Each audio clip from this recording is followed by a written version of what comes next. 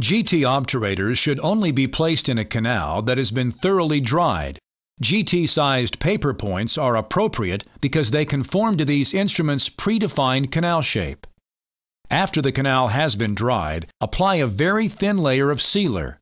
It is recommended that only non-eugenol sealers like ThermaSeal Plus should be used with the GT obturator's alpha phase gutta percha. The sealer, in addition to penetrating minute canal spaces, acts as a lubricant, enhancing the flow characteristics of the centrally condensed gutta percha. Blot the sealer with paper points to ensure a minimal coating of the canal walls. In teeth with multiple canals, place paper points in the unfilled canals to avoid overflows of gutta percha into these spaces.